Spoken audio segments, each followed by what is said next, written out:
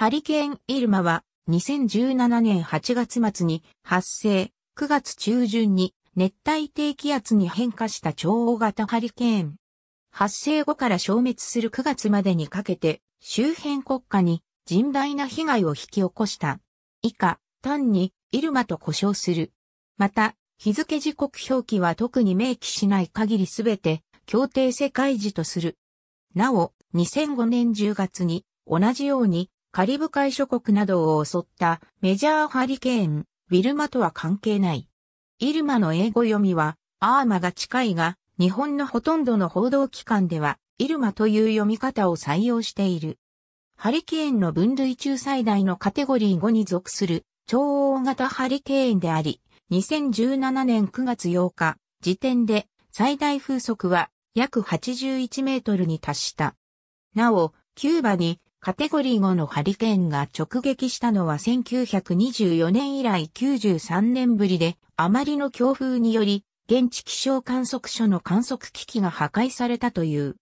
イルマのアメリカ合衆国上陸直前には、カテゴリー4に属するハリケーンハービーが、テキサス州で壊滅的な被害を発生させており、アメリカ合衆国本土にカテゴリー4以上のハリケーンが1年以内に2つ上陸するのは史上初。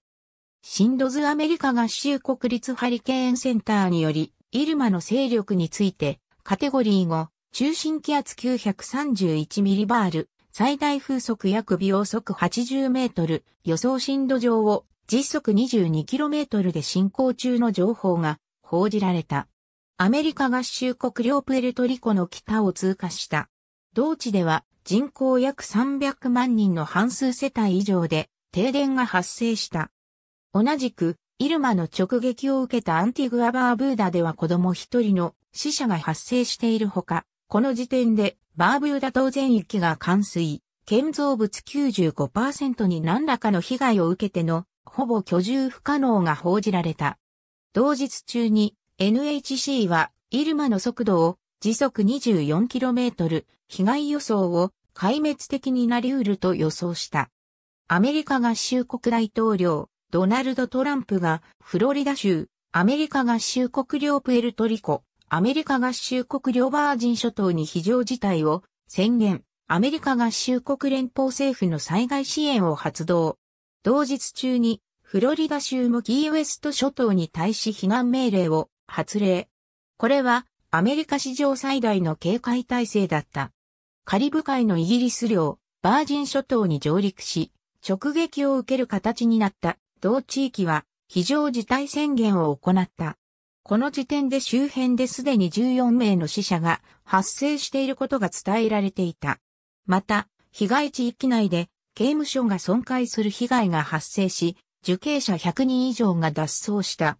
イギリス政府は、この脱走者の対処のために、本国からも警察官を派遣している。フランス領産マルタン島では、サンマルタイ空港が破壊され、領内建造物のほとんどが全壊し、7名の死者が報告された。また、同じ島の南半分である、オランダ領、シントマール店でも一人が死亡、数人の負傷者が発生している。7日時点でも発生から33時間を経過して、最大風速82メートルを保っており、フランスの気象当局は AFP 通信社の取材に対し、これだけ猛烈な勢力がこれほど長い時間続くのは人工衛星の時代に観測されたことがない。その上、イルマはまだ勢力を保っていると述べた。この時点で9日の直撃を予想されていたフロリダ州も非常事態宣言を発令し、同予想震度内ではアメリカ海軍もフロリダ州南端のキーウェスト付近にある海軍飛行場勤務者とその家族約5000人に避難を要請した。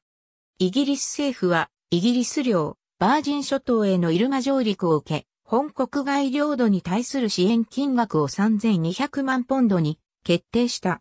また、到着まで2週間かかるものの、同日にイギリス海軍のヘリコプター揚陸艦オーシャンの派遣も決定している。その他、人道支援専門家と避難所設営セット200個を同地へ派遣した。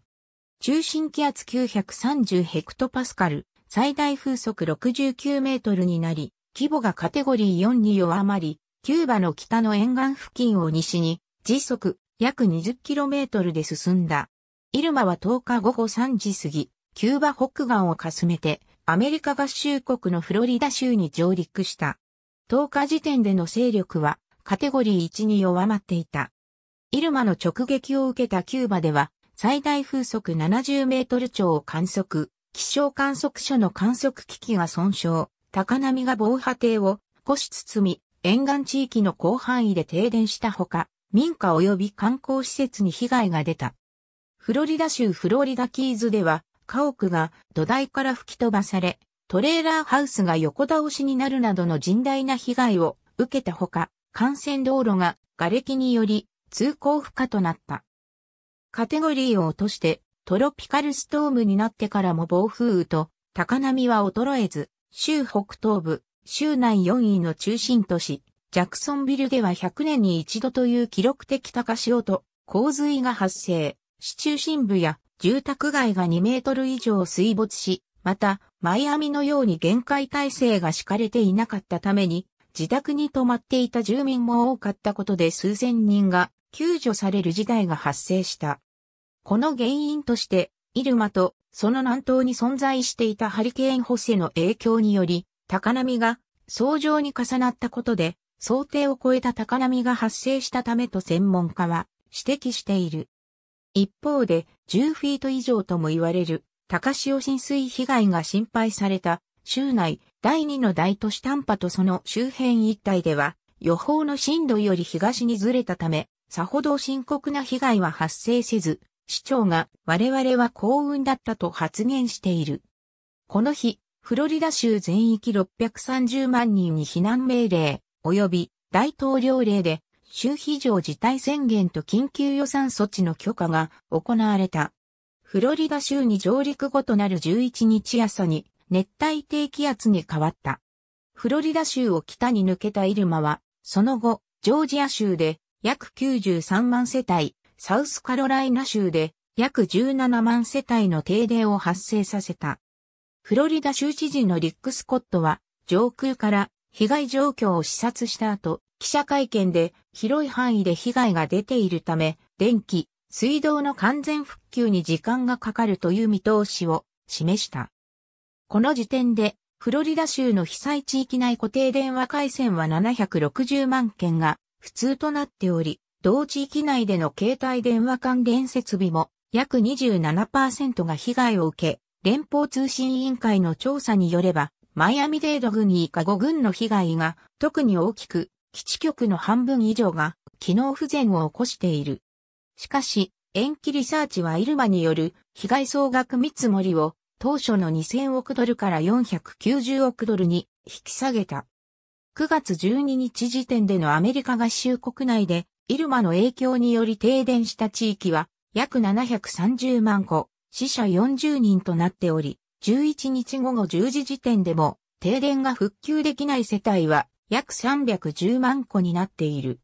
フランス大統領のエマニュエル・マクロンは2017年9月12日にイルマの被害を受けたフランス海外領土のグアドループ及びサンマルタン島を訪問した。国際名イルマはこの年限りで引退となった。代わりにイドリアという国際名に変更となった。国家日本の外務省は2017年9月14日、キューバ共和国より支援要請を受け、緊急援助物資の給与を決定した。個人、団体ほか2017年9月14日には、アメリカの主要テレビ局で放映されたハンドインハンドに、ジョージ・クルーニー、ジャスティン・ビーバー、ジュリア・ロバーツ、トム・ハンクス、ルピタ・ニョンゴ、オプラ・ウィンフリーらが出演し、1500万ドルを超す寄付金が集められた。元 NBA の元バスケットボールプレーヤーであるティム・ダンカンは出身地のアメリカ領バージン諸島のセント黒い島がイルマの直撃を受けたことを受け9月15日に約9トン分の食料品を現地に運び入れたほかアメリカ用バージン諸島救済基金を立ち上げ9月17日時点で250万ドルの寄付金を集めている。ありがとうございます。